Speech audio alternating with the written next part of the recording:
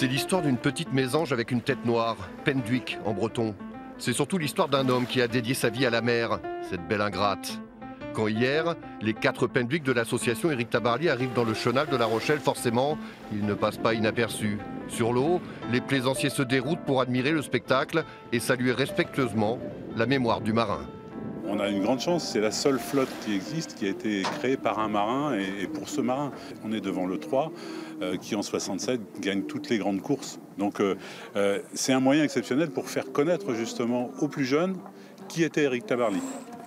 Et l'autre mission de l'association, c'est bien sûr de faire naviguer cette flottille d'exception.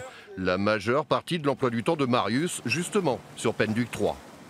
150 jours à peu près de navigation, ouais. C'est pas mal. C'est pas mal, ouais. Non, non, c'est bien, on a la chance. Il hein. faut, faut, quand même imaginer que la flotte des Pendwick, c'est une des rares flottes, si ce n'est la seule, à encore naviguer ensemble aujourd'hui et dans un tel état euh, de, de, navigation, quoi. Enfin, tous les bateaux sont nickel.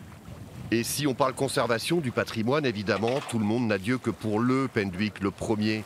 Le côtre de 1897 vient tout juste de sortir de près de 18 mois de chantier. Un travail d'esthète pour un voilier légendaire, une cure de jouvence nécessaire. On sent que le bateau, que la coque, elle est, elle est saine et intègre en termes de, structure. Tout va, tout va d'un bloc maintenant, alors qu'avant, ça a une tendance quand même à, être un peu souple. faire un peu la, chenille. Et on s'est rendu compte que le bateau quand même marchait mieux dans certaines conditions, pas tout le temps, mais euh, dans certaines conditions, c'est assez probant. Les Pendwick participeront mercredi à une parade dans le Vieux-Port avec le Yacht Club Classique de La Rochelle. D'ici là, vous ne pouvez pas les rater, ils sont amarrés devant l'esplanade d'Éric Tabarly.